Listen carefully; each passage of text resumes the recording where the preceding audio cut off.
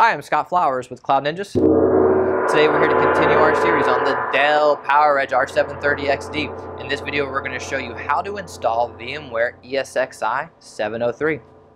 Let's get going.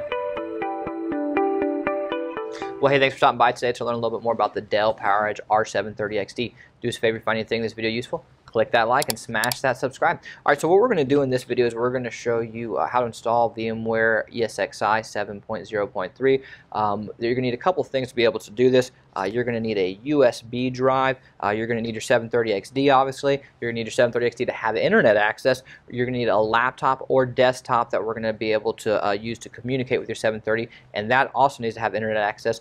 Uh, we're going to show you um, a program called Rufus, so you'll need to download that as well and you're going to need an ISO file, uh, which we will put a link in the description section where you can go and download that as well. Okay, let's get going. Alright, so we're going to create a boot disk using the VMware ISO file that we just downloaded. In order to, to do this, we are going to need a USB thumb drive installed into your computer, and we're going to use a program called Rufus. Uh, you can use something else if you, you know, would like. This is a really common and popular program for creating boot disk. Uh, we'll put up a link of where you can download it because you will need to download it, uh, and it'll be at rufus.ie backslash en backslash. And once you've uh, downloaded it, we're going to go into Rufus. And when you do, you will see there is a part that says boot selection. Under the boot selection, click the select on the right side. This is going to allow you to select the VMware file. Go in there and click on the VMware ISO file. When you hit open, it's going to uh, basically put it into it. Um, make sure all the rest of the settings are fine. They should all be good, but just double check everything is good. Hit start. Now it's going to give you a warning option after you do this uh, that basically any data on your USB is going to be destroyed. Um, you should have put in a blank USB, so hopefully you have a blank USB. Um, click OK, and um, you're good to move forward. If you you know don't want the uh, information that's on there destroyed, then make sure to grab a different USB. Uh, so it's going to take a few minutes for this to process, uh, but right now uh, Rufus is actually creating the boot disk from the ISO file that we downloaded. When it's complete, the program uh, when it's complete, you're going to close your program and your uh, VMware ESXi installation on the USB will be ready to go. Uh, so really, it's a relatively simple process overall. Doesn't take too, too much time here. It's going to take you know a minute or two to run this, but it's not like some of the uh, other installs. If you saw our you know mass updates video, uh, that takes I mean, sometimes all night to install. Realistically, it's just kind of a waiting game here, and once it's all done, you're just going to go on to the next step, which is going to be to install uh, the VMware onto the server itself. Alright, so now we're actually going to install VMware ESXi 7.0.3. So we are going to uh, reboot the server, and on the boot up screen, we are going to hit F11 and this will enter the boot manager. Once the uh, boot manager uh, fully initializes and pops up with the options, we're going to go to one-shot BIOS boot menu. Once you get into the one-shot BIOS boot menu, we're going to actually select the USB that we created. Once you've selected the USB, it'll take a, a few minutes to initialize. Once it does, it's going to take almost uh, five minutes, maybe 10 minutes to actually load up uh, the VMware ESXi installer. So just know, you know, you need to, to sit back and be a little bit patient here. We're going to actually fast forward through it because it's, you know, just a ton of different time or a ton of time to waste just uh, staring at the screen. Uh, but do know it's going to take, you know, five to 10 minutes here. Alright, so after some time it's going to pop up to a screen that says Welcome to VMware ESXi 7.0.3 installation. You're going to want to press enter to continue. That's going to give you the, uh, the next screen where you're going to want to push F11 to accept and continue. Uh, that's just going to be the license agreement. Um, once you've accepted the license agreement, this is going to bring you to the select a disk to install or upgrade screen. Here's where we're actually going to install VMware onto our local hard drive disk. Press enter to continue and enter again to confirm the uh, installation location. Alright, once we confirm the disk selection, it's going to come up to uh, a screen that's going to want you to uh, put your keyboard option. We just do um, US default, press enter uh, for your for your keyboard option. Um, then it's going to ask you to enter a password. Uh, make sure you remember your password because uh, you will need this again. Um, so we're going to put our password in. It does need to be at least seven characters and have um, one special character as well. So we uh, set our password, make sure it matches.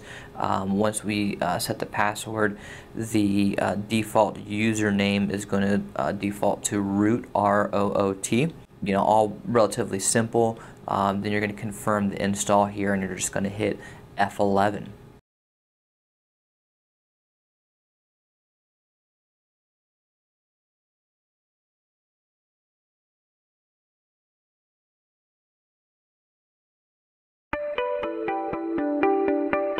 So now it's in the process of actually installing ESXi. Uh, this is going to take several minutes, so just know it'll take several minutes um, you know, for the whole process to happen. Once it finishes the install, uh, it's going to give you an option to reboot. You're going to hit enter, uh, and it's going to reboot the server automatically. Okay. Um, once the server has powered down, and give it some time to power down because it's still doing some stuff in the background, you're going to remove the USB that we had used to install the ESXi, right? So once the USB is removed um, and the server boots back up, you're now going to um, boot to the newly installed VMware ESXi. And once it's booted, you'll see that there's a message that reads, to manage this host, go to, and it's going to have your IP address. We will reference this IP address in the next step, so you will need to make sure that you have it. Um, and our IP address we're going to black out, but it'll be different than what yours is, obviously.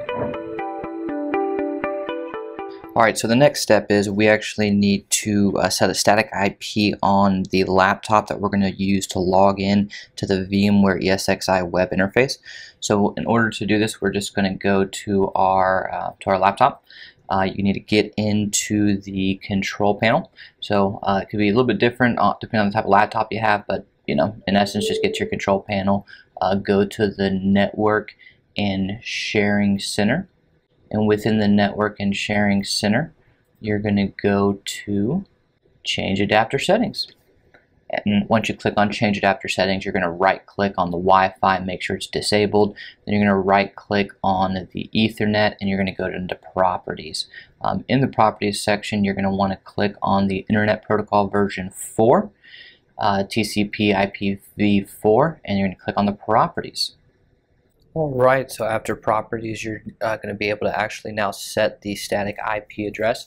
So we're going to go in and set it to the same as the server. And we need to uh, make sure that the uh, subnet mask is also done as well. So we're going to set this here too.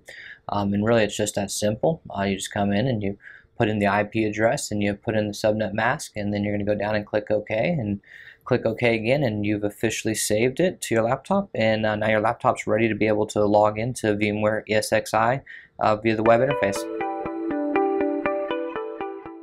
Alright, we are on to the final step. How do I log into the VMware ESXi web interface on my laptop? So grab the laptop that we had just set the static IP address on.